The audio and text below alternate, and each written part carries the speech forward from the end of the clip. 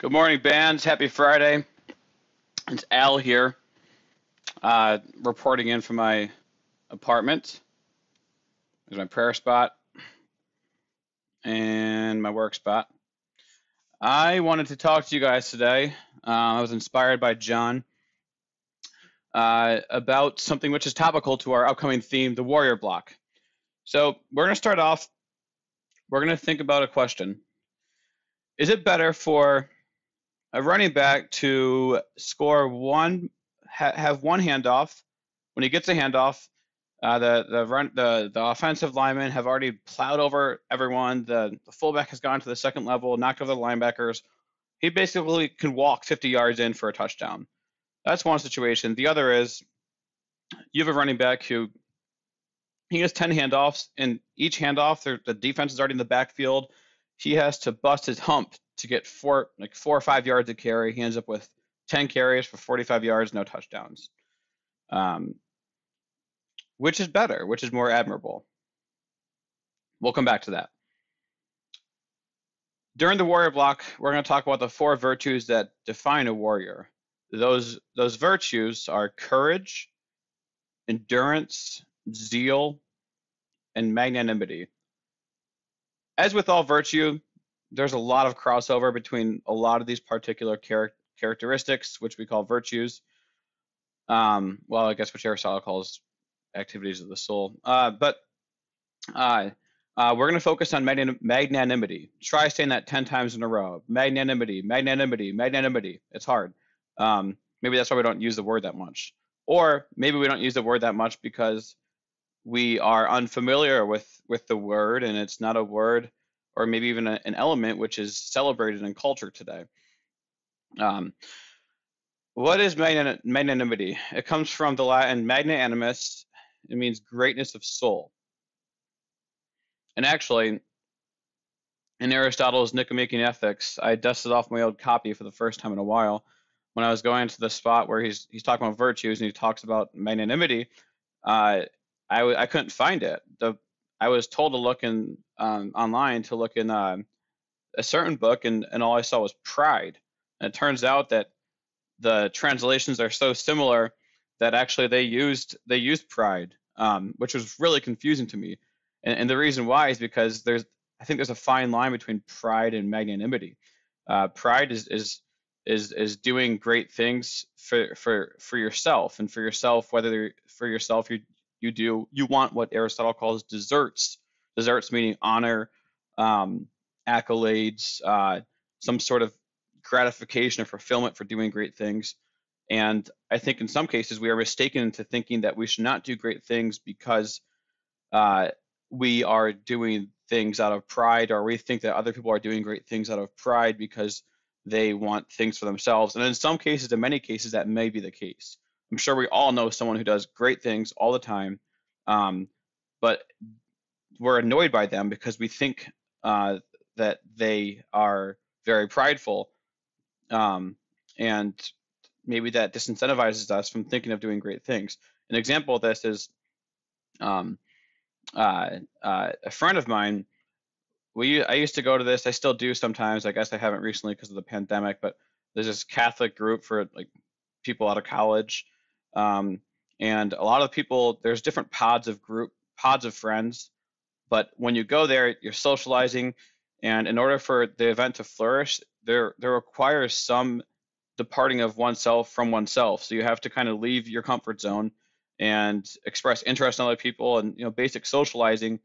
Um, but that kind of socializing requires you to uh, be animated and and say, hey, like what's what's going on? What's new with your life or whatever? And it, it, to the outsider, it may look like this guy's faking it, and maybe you kind of are faking it or feigning an interest, but it, you're you're expanding yourself. You're you're you're letting God uh, draw forth, expand your soul, and expand your interest, expand your ability to love someone who you didn't know you loved before. You could love before.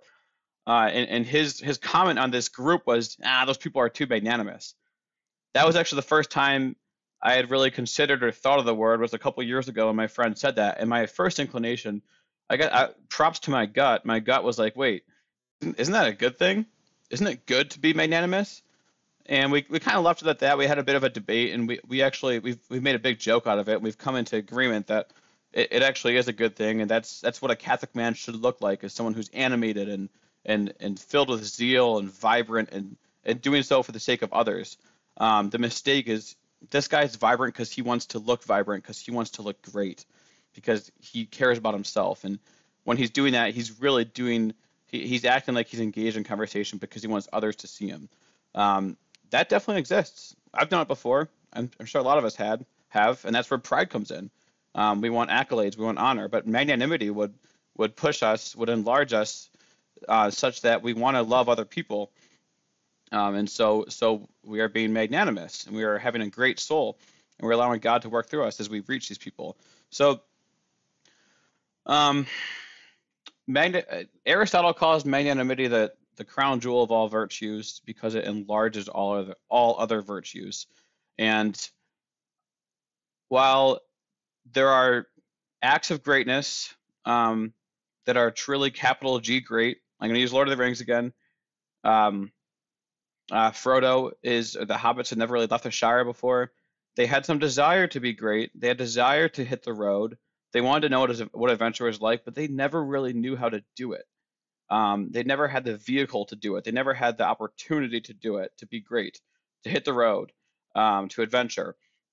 So they needed to be called forth by a great, a great something to to do this, um, a great need. And of course, uh, the situation presents itself where they have to go to Mount Doom and cast a ring in and save Middle Earth, um, and and they do it. They they they remove they separate themselves from themselves. They remove the smallness of heart, this comfort, this knownness of the Shire.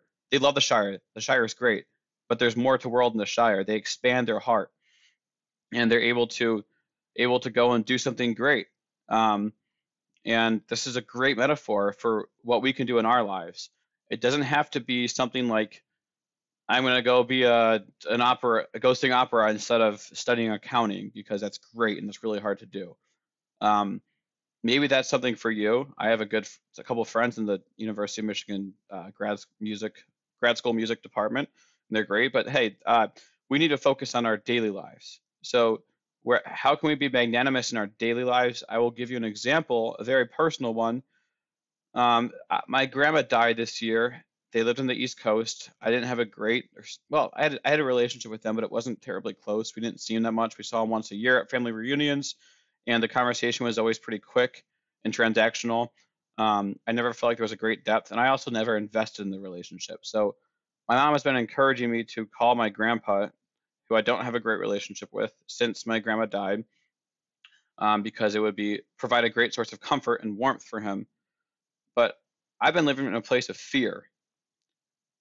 I've been living in a place of fear. I've been thinking, no, we don't have a good relationship. Why would I call him? Uh, I've been thinking, that's not me. Um, I, am comfortable with where I am. I'm, I know myself. I know who I am. He knows himself. He knows who he am. He is. And also, I think that would be an act of pride to think that I could help him. Well, through God and through the expansion of my heart, I can quickly realize that that place of fear, like most places of fear, can be beat to death with just looking at it, shedding a, a small ray of light on it. I, it there's no real. I, I, am scared of being vulnerable, sure, but um, you get over that in, in, five seconds after making a phone call. And and in fact, in doing so, I will expand my ability to love because I will have conquered fear once. Well, God will have conquered fear by showing me like if I remove myself and let him come in and I, I just call out of a place of love, then fear and, and fear will be conquered. And once that happens, once it repeats itself, uh, it it it becomes becomes wholesale. It it becomes profound and it flourishes. And um, you have a lush valley of of love conquering fear. I mean that sounds so corny, but uh, it's fear is fear can be dispelled so easily. There's just a little bit of light, but we we don't have the examples to do it in society. We, we forget to do it and we live within ourselves and ourselves will not provide the answer for overcoming fear, death, and sin. We have to look outside of ourselves, which is the exact nature of magnan- magnanimity. Um, the last thing for you, I should probably throw some scripture in here, is um, uh, uh, Mark Mark Mark uh, 12 43, the poor widow's contribution. So they're in the temple. The poor widow gives two coins, and Jesus calls his, disciples to him, and he says, "Amen, I say to you, this poor widow put more, th- more put in more than all the other contributors to the treasury, for they have all contributed from their surplus wealth, but she, from her poverty, has contributed all she had, her whole livelihood." Another translation says abundance versus poverty. And that really struck me as um, we've got to contribute from from from our places of, of spiritual, social, virtue, poverty. If you're really good at something, great. That doesn't mean that doesn't make doing it worse. Um, if if you're really good at connecting with people in a certain way and loving them in a certain way, keep on doing that. But the great thing about the call for call to holiness is there are countless virtues, and we will never become fully perfect in any of them on this earth. So until our de- our physical earthly deaths, we we will always have some form of spiritual poverty from which we can we are called to contribute more. Um, so specifically today, I'm gonna I'm this is kind of nerve wracking, but I'm gonna uh, make this call to my grandpa. Um, I challenge you guys to think of some some something that you've been held back from from a place of fear to be magnanimous to to shut up you know shut up all the the doubts the dispelling things in your in your heart um, and don't be fearful to leave the known to leave the comfortable because it is leaving the shire uh, that can lead us to greatness leaving the shire and having god as our guide. We can't forget that. We have to have gandalf god the guide. We have to have that. We have to have someone show us the way um, and without that it doesn't work. So um, yeah love uh, let's be magnanimous. Uh, look forward to seeing you guys on uh, on Wednesday.